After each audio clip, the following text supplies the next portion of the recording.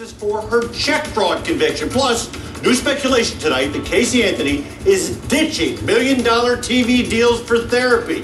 TMZ reports Jose Anthony Baez is getting her professional treatment for serious mental issues. So, is Casey off to rehab? Joining me, criminal defense attorneys Rachel Kuba and Joey Jackson.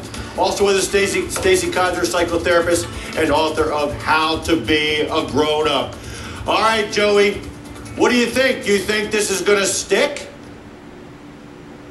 Well, in, in, terms of the probation or the rehab, Mike, the, I mean, I don't the probation. Know, you think you think? well, you think listen, there's any standing here?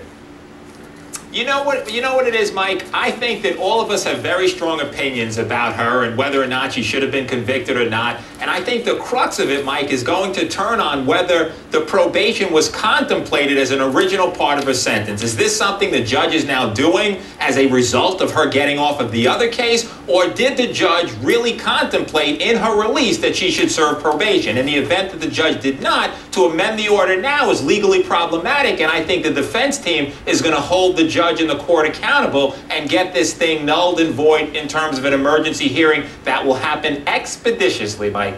Well, Rachel Kugel, just criminal defense attorney uh, the, for the Kugel Law Firm in New York City, uh, Judge Strickland, remember, he was taken yeah. off the case. He's the one who said after this check fraud conviction, $644 and, and some odd cents, that if she was acquitted, she would serve one year probation.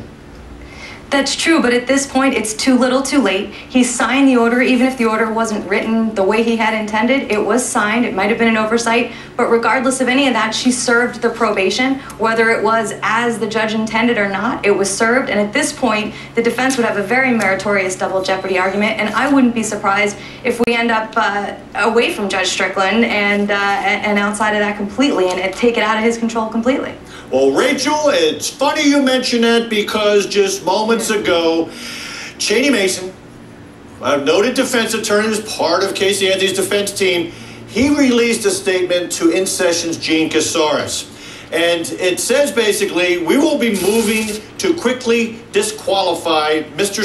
Strickland for the second time in having any dealings with Casey. We are seeking to set aside and vacate the order that he entered today. There was no notice, no motion, no hearing. But Joey Jackson, I have never heard of serving probation while you are still behind bars. Help me understand that one. Well, well, this is true. I mean, generally speaking, probation is something which the court now has an opportunity to supervise a defendant to ensure that there's no commission of new offenses, that not, they're not doing anything that would further get them into any trouble or anything else. However, in this particular situation, when she was originally sentenced on the actual uh, fraud charge, she was actually dealing with this other case. She was incarcerated at the time and did, in fact, her probationary time lapse based on the fact that she was incarcerated. And so that they are going to have to identify what the issues are, fight over these issues, and I think they really can prevail here, Mike. But Rachel, do you think this would be, as what the defense's team is saying, basically double jeopardy because but I, because I still don't get it that you can't serve probation while you're locked up. Well, it's certainly very unusual to serve probation while you're locked up, but if probation visited her, um, if she complied with whatever they required. For example, probation might ask you to do a program, something in jail, something she had to complete. If she in fact did that, and she could have still been violated on uh, while incarcerated if she had had you know, a fight while in jail, for example, or had done something behaviorally in jail that was unacceptable, she could have been violated during that time. So as long as she was subject to probation and they took it on, I think it's double jeopardy, and I think the defense will prevail. Well, it's going to be interesting because if she comes back to Orlando, the probation office for Orange County is right down the street, Joey Jackson, from the jail. So, are we looking at another Casey Anthony circus, possibly?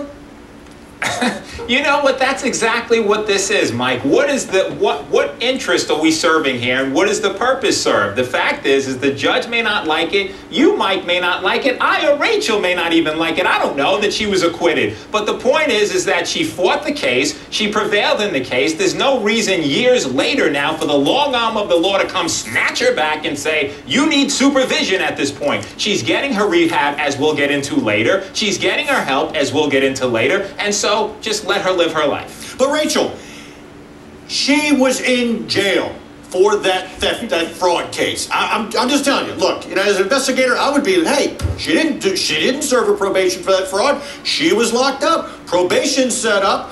So if you are released from jail, that you make sure you behave yourself for one year in the state of, of Florida, in Orlando.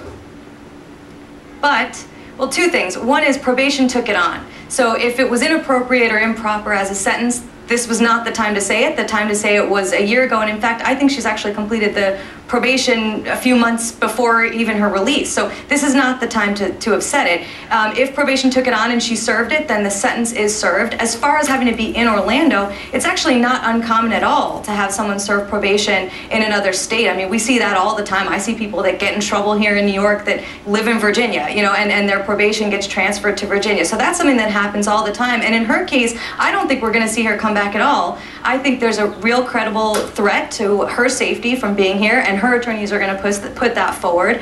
And, uh, you know, I don't think they're going to see her come back to report at all. Mm. I think her attorneys are going to handle it without her. Well, you know, we're going to be following to see if she does show up at the probation office.